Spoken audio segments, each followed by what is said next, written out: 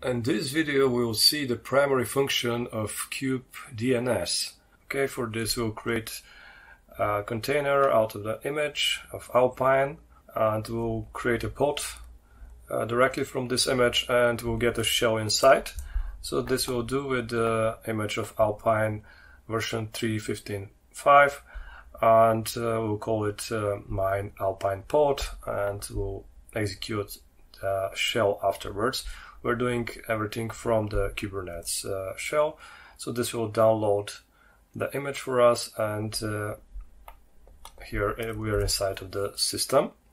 Okay, let's uh, try to send a request, uh, for example, to GitHub in order to see if our resolver or DNS uh, server is working.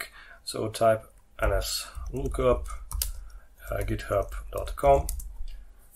we are having this answer uh, just because inside of the container it's pointed to send queries to the Google DNS server.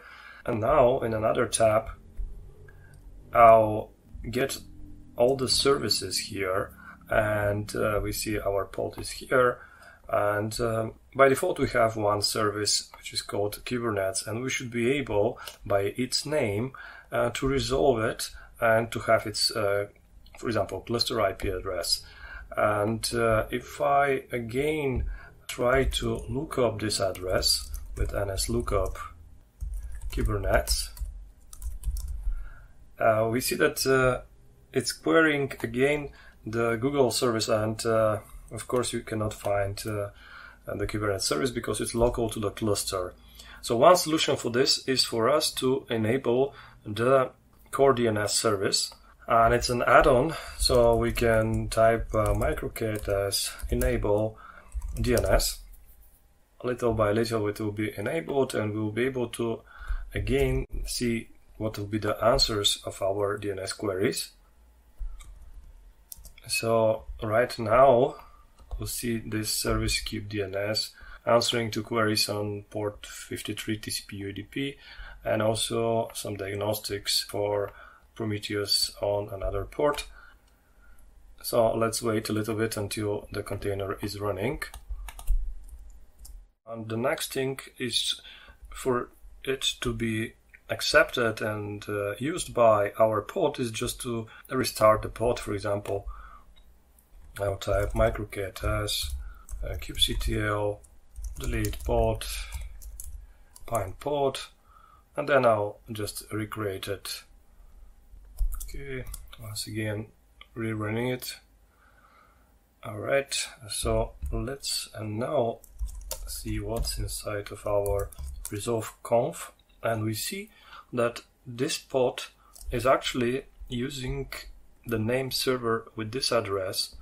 If we go ahead and check our kubedns service, we see that as the same address. So automatically, um, when the pod is being created and the DNS service is uh, being present, it gets the data from there. So we no longer are requesting uh, DNS data from uh, Google service, uh, which means that uh, again I can reach GitHub and this is the answer from our service the difference now is uh, when we try to get access to our local services. So I'll type nslookup kubernetes. We can see that we are querying the DNS server and it's returning the following address, the name of the service, also the default namespace uh, where it's placed, uh, and of course information about our cluster as well as its address. This way pods uh, and uh, of course the containers uh, can communicate uh, between each other uh, while using services and they can be resolved by their names. Uh, right now, we see that our kubedns is also having from the output, uh, we can also see that kubedns uh, has also deployment and a replica set, and we can scale down this replica set to see what happens if our kubedns is disabled once again. So basically we would like this uh, core DNS uh, to be scaled down to uh, zero and uh, everything happens in the namespace of uh, kube system. So let's uh, run uh, the command and uh, let's see again. Now we don't have core DNS uh, replica sets.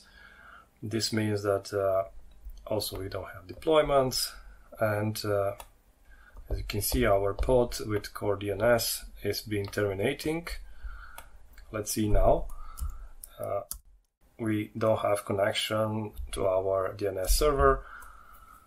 Also, we can try to see the configuration of our core DNS. It's saved inside of the config map, so we will be describing it, and that's the contents of it. We are responding to all the domains, and uh, here first uh, we're using the Kubernetes uh, plugin, which uh, resolves all the local services. Afterwards, uh, we're resolving the local IP addresses for the cluster, and then for everything that's uh, concerning the internet, uh, we just uh, pass it through. And uh, that's basically the configuration file, which you can change and uh, restart the deployment, and you have it automatically configured. Alright, that's how the core DNS uh, functions inside of Kubernetes. I hope you enjoyed the information. Thank you.